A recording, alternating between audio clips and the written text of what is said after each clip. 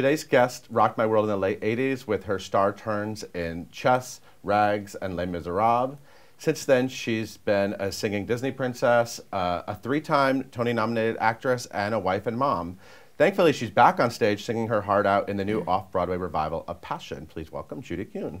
Hi there. Hello. So Thank good to see you. Well, thank you for having me. I, I have to just gush first and tell you that what's great about doing these interviews is when I get somebody in here who really shaped like why I love Broadway Oh. and your voice. I mean, Oh, like thank you. if you knew how, how many times I've I, I mean, like when I first moved to New York, I used to go to the Library of Performing Arts and watch chess. Just and whenever I was bored, I would go watch chess, and I would go watch Rags. I mean, it, it's, Oh. it's crazy. So anyway, thank That's you. so nice. Thank you. But you must hear that a lot. I mean, especially working with like actors who came after you.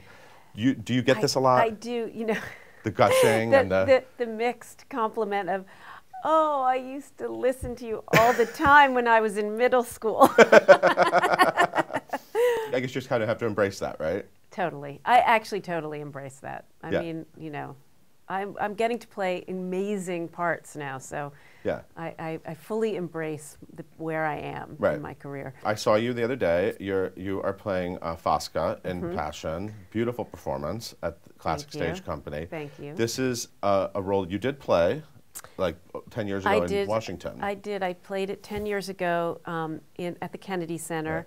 when they did the Sondheim celebration, which was an extraordinary sort of retrospective of Sondheim's work. yeah. Amazing cast, amazing directors, uh, six full productions that were done in rep, Right. um, which is why we didn't do very many performances. Um, I think we did 15 performances. And it was an odd schedule. You'd do two performances, then you'd be off for three days, and Right, then you'd do four performances, Right. be off for five days. And so, um, I mean, the, the wonderful thing is we got to see all the, the shows. Yeah. So um, it was Camp Sondheim, we called it. It was Yeah. really uh, fantastic. And you did it with Michael Cerveris and Rebecca Luker. Mm-hmm. Uh-huh, yes. Right. Wonderful. And did you immediately? I, I know you've said over the years, like that was a that was a really good one. I would really love to do that again. I, mean, really, I- did you just connect? Did, you connect with this? I, I connected with this piece in a major way. I, it, I think it is a profound piece of writing about the things that, mm, you know, we humans, I think, think about more than anything, which is love and death. Right. um, and beauty, and what beau- what it, what Uh-huh. does it mean to be beautiful? What is beauty? Um, and especially in the culture we live in now. Right. Um, and I, so I think it's really profound, and um, it there's endless possibilities in it. So as an actor, it's just it's hmm. great to go out there every night and just re-explore it and find new things. And I mean, still after having done it once and having a, again a full you know five weeks re- of rehearsal, and mm-hmm. now we're into our second week of previews. I'm still hearing things in the words and in the music that I, I never heard before. Wow. That's Um, Sondheim, right? That's Sondheim. and, and James Lapine, Yeah, who yeah. wrote an extraordinary book. Yeah. So there's Giorgio, now played by Ryan Silverman. Yes. Uh-huh. And there's Clara, Melissa Errico. The show opens, they're having sex. Yes. a very bold Yes, move that's how you on the part it. of the authors. And we're off. and they're sort of the, the perfect, I guess, perfect, beautiful lovers. And then you come in, you're wailing in a tower or something. Right, yet because of the brilliance of Sondheim and what he does harmonically in that opening sequence, Yeah. he suggests, I mean, he opens uh this piece with a song called Happiness. Right. Right. Um, and yet his, his, the, what he does harmonically suggests that maybe everything isn't completely happy or going to be Right. completely happy, um, which is, you know, his particular genius. I saw it on Broadway Mm-hmm. originally. Of course, the irony of this is Donna Murphy won a Tony originally in the Broadway production. It is amazing. You're basically the same age as Donna Murphy. I am. And now you're doing it 20 years later. It's, it's interesting. Well, you know, it's funny because Fosca, I think, is a kind of ageless character. Yeah, I mean, uh-huh. I suppose she wouldn't be played by someone in her 70s, but um, I, I- you know, I, I think because of her illness and Yeah. because of what's happened to her in her life, she appears older than she is. I, I think this piece needs to be played by actors older than the, what the characters are because I think you need a certain kind of maturity and experience to bring what's needed to them. Yeah. Um, you know, I think the age thing works. What I actually found jarring about it is that you're they're not really uglying you up. I mean, it's you know what I mean. You're, I mean, like I remember Donna Murphy had like a mole, I think, and she was just very Right. and and so to, to me, it, it sort of changed the show in an interesting way. I guess maybe the Broadway production. First of all, I remember that uh, the couple was naked in the beginning. yes. That So it's almost like uh, more extreme, and then Donna Murphy was m- a little more gargly just because of, Right. of, of her physical. So Right. is, is that sort of was that talked about at all? Is that sort of what director John Doyle is? Well, I mean, listen, we it's a very small theater. right, So and and John which is great is by the very way to see a show like this. yes. I, I think it's a intimate- great Yeah. space for this piece because it is a very intimate story and Yeah. for the audience to, to be involved in it in such an intimate way, I think Right. is great for the piece and great for the audience. Um, I, you know, because of the the proximity of the audience, we weren't going to do some crazy makeup so that it looked like I'm wearing a lot of makeup. Right. So you know, we emphasized things like circles under the eyes Uh-huh, and okay. you know, ma- you know, making me a little paler and things like that. But you know, the whole thing about ugliness and and and because it, the uh, the piece and the way it's explored, I think beauty and ugliness needs always needs to be put in context with Mm. the, the time. Mm-hmm. What was considered beautiful in the 1860s in Italy isn't Right. necessarily what is considered beautiful now. Right. Um, and what what kinds of expectations there were uh, for of a woman Mm. in that time were also different. I mean, Mm-hmm. I think Fosca has an incredible intellect and wit. That wouldn't necessarily be considered attractive then, Mm. you know. Mm-hmm. And um, she is, you know, someone who she, you know, she is depressed and she's isolated and she's lonely, and that also becomes a physical has its physical manifestations, which is also not attractive. Right. Um, so I think there's more elements to what is called ugliness than just physical. She's not de- a deformed person, you know. Um, she's just uh, she struggles. So what's it been like doing it this time? Is it? I mean, with all that time in between, well, it's funny when you do a role. Does it sort of live with you over those years? Do you, you ever think about it in the years in between? I, I mean, I have thought about this because this is, as I say, a particularly profound Yeah. experience to do this. But um, I think, um, you know, uh, there's been enough passage of time that it's. I, I, there's a lot I don't remember. This this the space demands a, a different Yeah. kind of performance. Um, it, John Doyle is a very different kind of director. Yeah. And, uh, you know, we're doing it in this very minimalist way. I mean, we're doing it with 10 actors and six chairs, and that's it, yeah. and some beautiful drapes. Yeah. Um, Beautiful drapes. Yes. Um, so it's very, very different experience. And I have felt, you know, that it's, it, to me, it, it's felt like doing something brand new. Mm. Um, I'm sure there are things from having done it before that still are back there in the Mhm. brain cells, but I didn't want to try to recreate anything I did before. Right. So let's let's jump back a little bit. You grew up in Maryland, right? Yes, in a Washington suburb. Right. Mhm. Right. Where did this passion to, to, to take a play on that? Where did the passion for for being on stage come from? What, what, can you sort of like pinpoint where it started? I always, my parents always took me to the theater. I always loved the theater. I would sort of date the getting bitten by the theater bug um, to. There was a year we spent living in New York, Uh-huh. um, and and I was I don't know 11, 10, I can't remember. Um, and my parents took me. We took they took us to the theater a lot that year. what, what stuck? What I really remember stood out? seeing Man of La Mancha. Okay.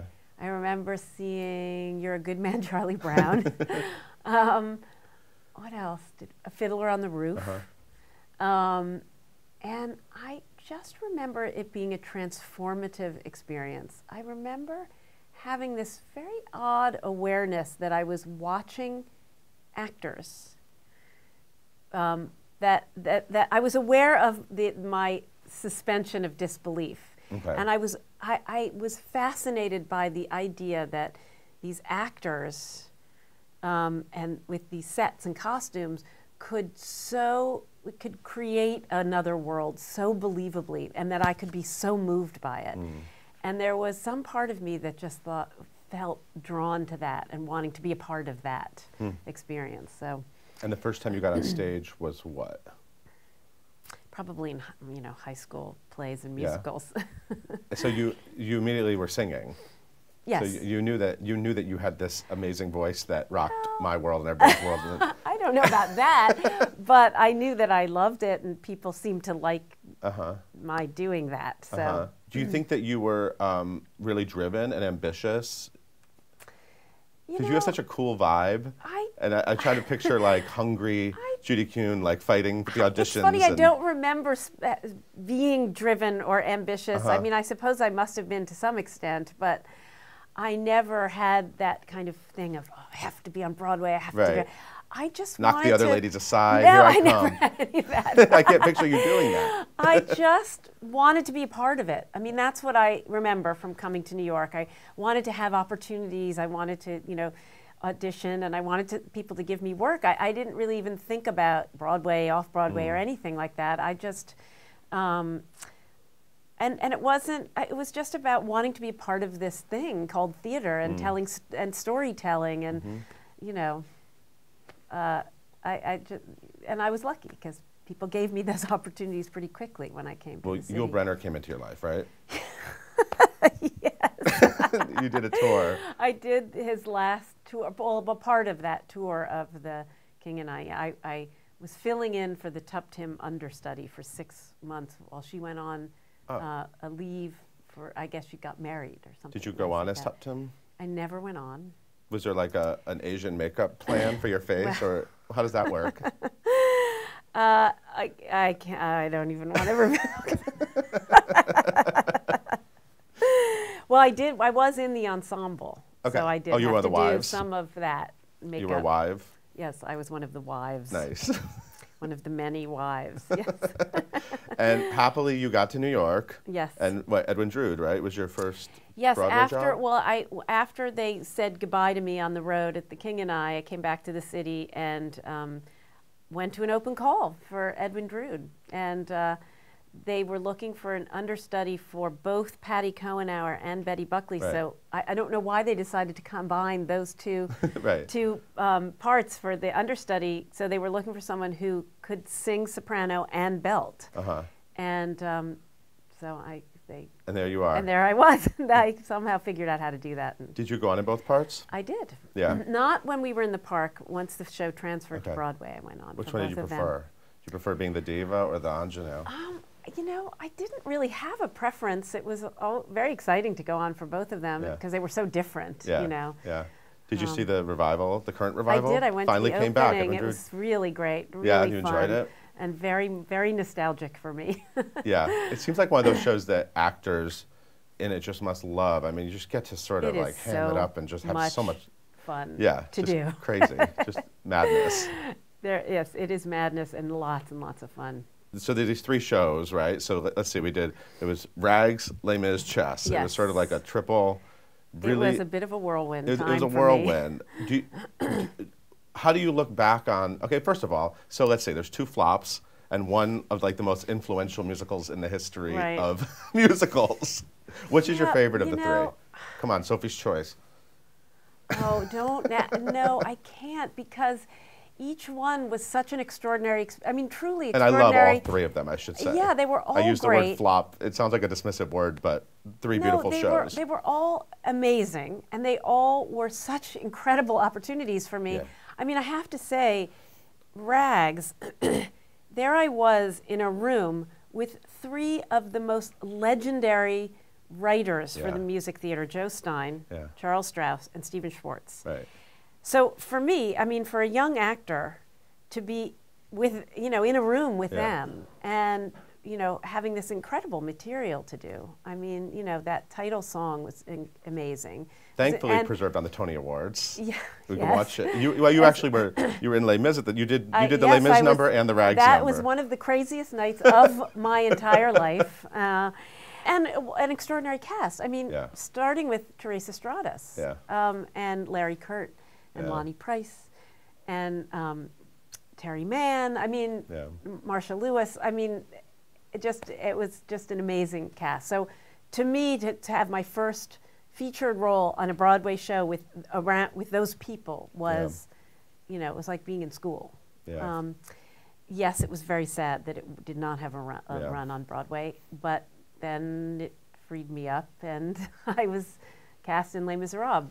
You know, Right. again, there I was in a room with, you know, the uh, artistic director of the Royal Shakespeare Company, I know. and um, another extraordinary cast, and an amazing piece. yeah. Um, so, you know, It's so weird that Rags has not come back in a proper way. I know a lot of people have tried to do Rags over the years. think Maybe you could do Teresa Stratas' role now. I would love to do that. What do you think? Should we do I that? would love that. I, I, I, I, I do like to think, I like to pretend like I have millions of dollars sometimes and just let's do that. let's do that. Okay, let's do that. no, I think it is a ex, ex, an exceptional score Yeah. by Charles Strouse Yeah. and and a beautiful story. I mean, one that that I think still needs to be told. Yeah. You know, So I know you, the Les Mis thing follows you around a lot in a good way. in a great way. You were Cosette, and you actually you and you played Fantine in the last. Mm-hmm. Yes. And you were in the Dreamcast 10th anniversary Yes. of Les Mis, which was which was a Dreamcast. Did you run out? Do I you run out to see the movie when it I comes out? I did see the movie. I have to confess, I didn't see it in a movie theater, which I should have, and I feel badly about that. You saw like but an illegal saw- bootleg screening. No, no, no. I, I had screeners. Okay, I okay. Because I, was uh on the SAG nominating committee, so I got all SAG Right. award nominating committee, Yeah. so I got all the screeners. So I did watch it at home, but But that might be better because of all the extreme close-ups. So it might be better on a TV because I was up their nostrils in the, in the theater.